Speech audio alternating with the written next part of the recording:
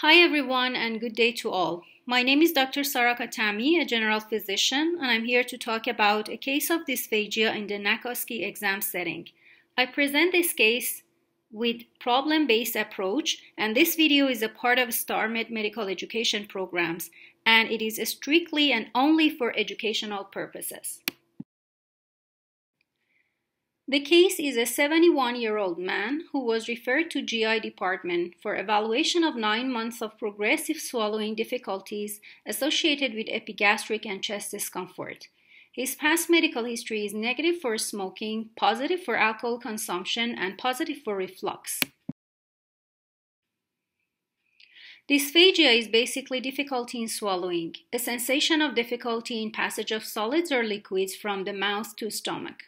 Dysphagia is distinguished from other symptoms including odynophagia, which is the pain with swallowing, and globus, which is the sensation of sticking something in throat or chest.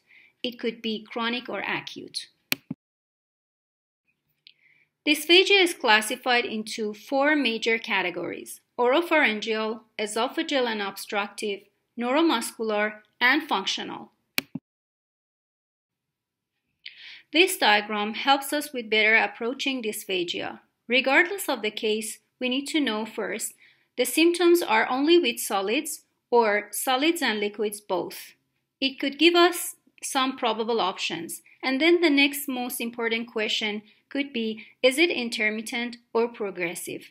Although this algorithm doesn't include all the etiologies for dysphagia, but it helps us with better approaching the case and finding the etiology. Now I want to explain about the etiologies of dysphagia.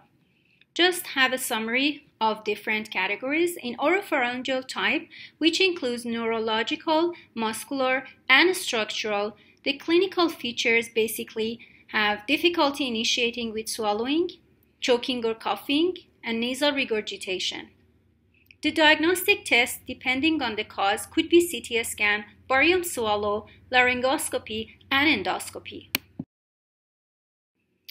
In the esophageal category, we have two types. One is mechanical, which includes rings, webs, peptic stricture, and carcinomas, and neuromuscular type, which is diffuse esophageal spasm, scleroderma, and achalasia. Clinical features, depending on the type, could be dysphagia only with solids or solids and liquids both. Chest pain can also be present in some of the cases, and the symptoms could be intermittent or progressive. Diagnostic tests, depending on the type, could be endoscopy and biopsy in carcinoma or peptic stricture, and it could be barium swallow in the second step. For the neuromuscular ones, basically esophageal manometry is the golden choice, followed by barium swallow. Motor dysfunction could be achalasia, scleroderma, and diffuse esophageal spasm. Clinical features include dysphagia with solids and liquids. It could be intermittent or progressive, and chest pain can be present in some of the cases. Diagnostic tests could be esophageal manometry, which is the first and golden choice, and barium swallow could be the second option. Here you can see a long list of differential diagnoses of the etiologies of dysphagia. The way we can narrow down our differential diagnosis is asking proper questions in terms of accompanying symptoms, age, smoking, alcohol consumption, past medical history, medication history, and constitutional symptoms. The complications could be aspiration pneumonia, dehydration, malnutrition, and weight loss, regardless of the etiology of dysphagia. There are a variety of treatments, but the choice of treatment highly depend on the cause. Treatment could be medical treatment, including calcium channel blockers and PPI in a spasm, or pneumatic dilation or surgical myotomy in it could be indefinite PPI and surgery in scleroderma.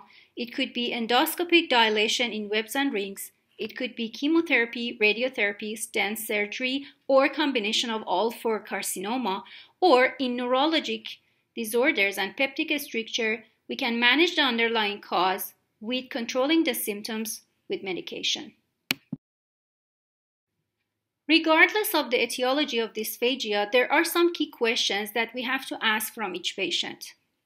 The first question is the timing of dysphagia. Is it in the beginning or middle or at the end? Is there any associated symptom like regurgitation, changes in voice pitch, or weight loss? Is there um, dysphagia to solids, liquids, or both? Is the dysphagia intermittent or progressive? Is there any history of heartburn or reflux? Is there any change in eating habits or diet? And is there any unintentional weight loss present? Now let's get, get back to our case and see how we can approach this case. The single word progressive or from solids to liquids is the most important clue to the diagnosis of esophageal cancer as well as the age of the patient. There are some red flags or alarm symptoms which indicate endoscopy. Weight loss, blood in stool, and anemia. The key points are in the esophagus, only cancer and Barrett esophagus are diagnosed by biopsy. For cancer, radiology is never the most accurate test. You have to look for age, if the age is 50 or older. Is the dysphagia progressive? It means that first for solids and then followed by the liquids. Is there any association with prolonged alcohol and tobacco use? And are there more than 5 to 10 years of GERD symptoms present? In terms of diagnostic tests, endoscopy is the golden choice, since only a biopsy can diagnose cancer. Barium swallow might be the best initial test, but no radiologic test can diagnose cancer. CT and MRI are not enough to diagnose the cancer because they are only to determine the extent of spread into surrounding tissues. PET scan is also used to determine the anatomy of the lesion and can often be used to determine whether a cancer is resectable or not. Local disease is resectable and widely spread metastatic disease is not.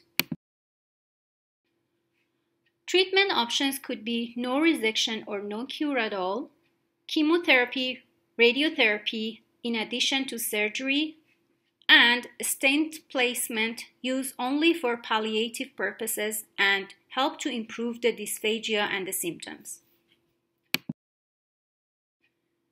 Thank you very much for your attention and I hope you have enjoyed this presentation.